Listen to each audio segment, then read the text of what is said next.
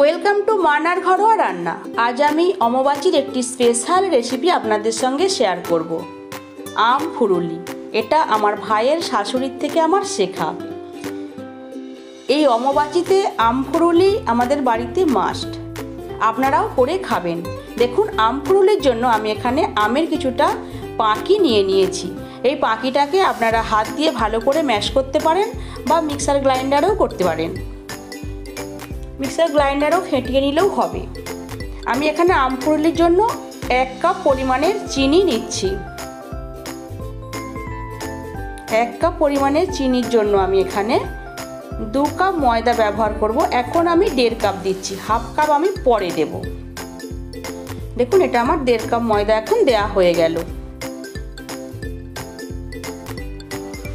আমি এখানে দেড় কাপ পরিমাণের আমের সত্ত্বটাও নিচ্ছি।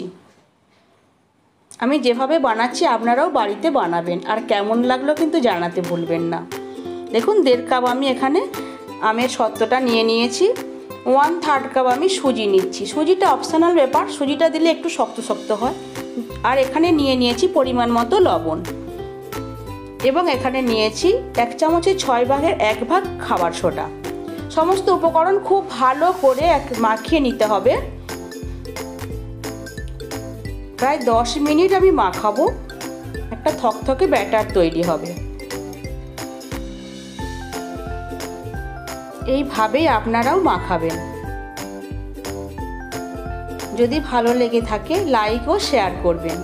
দেখুন, একটু নরম হয়েছে চিনিটা গলে গিয়ে। সেই জন্য হাফ কাপ ময়দা এখন আমি অ্যাড করে দিলাম। একটু একটু নরম হয়ে গেছে, ময়দাটা অবশ্যই দিতে হবে এখানে। ওই জন্য ময়দার হাফ কাপ ময়দা আমি রেখে দিয়েছিলাম। ময়দাটা দিয়ে আবার ভালো করে মিশিয়ে মাখিয়ে নিতে হবে। এটা অমবাচিতে আপনারা তৈরি করবেন। এখন আমি এটাকে আধ ঘণ্টা ঢেকে রেখে দেব। দেখুন এটা থকথকে একটা ব্যাটার হয়েছে। চামচ থেকে কিন্তু সহজে এটা পড়ে যাচ্ছে না। ঢেকে আমি এখন আধ ঘণ্টা রেখে দেব। অন্যদিকে কড়াইয়ে দেখুন আমি তেলটা গরম করতে দিয়েছি হাই হিটে। হাই ফ্লেমে প্রথম অবস্থায় রাখবেন। ফুরুলির শেপ দেওয়ার পরে যখন একবার উল্টে দেবেন, তারপরে মিডিয়াম টু লো ফ্লেমে ভাজবেন। নাহলে ভেতরে কাঁচা থেকে যাবে। আর অবশ্যই এটাকে লাল করে ভেজে নিতে হবে। আপনি যদি আমার চ্যানেলে নতুন হয়ে থাকেন প্লিজ আমার চ্যানেলটি সাবস্ক্রাইব করবেন আর পাশে থাকা বেল আইকন প্রেস করবেন। ফুরুলির শেপ দিয়ে আমি এখন এগুলোকে ভালো করে ভেজে নেব।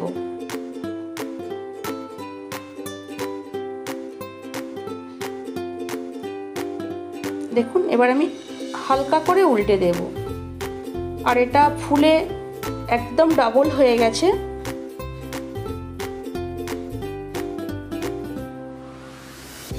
এইরকম সাবেকি রেসিপি এবং নিত্য নতুন রেসিপি আমি আপনাদের সঙ্গে শেয়ার করব।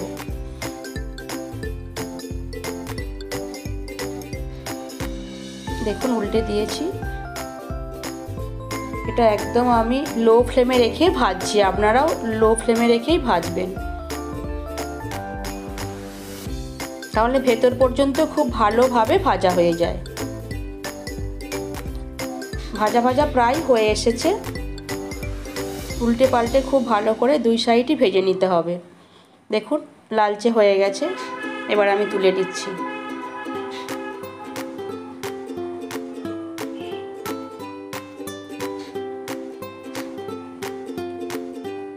বাকি ব্যাটার থেকেও আমি ফুরুলির শেপ দিয়ে এগুলো ভেজে নেব।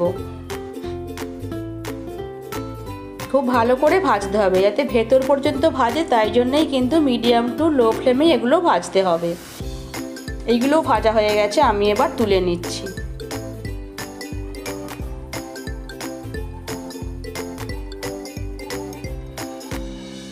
সমস্ত ব্যাটার আমার ভাজা হয়ে গেছে।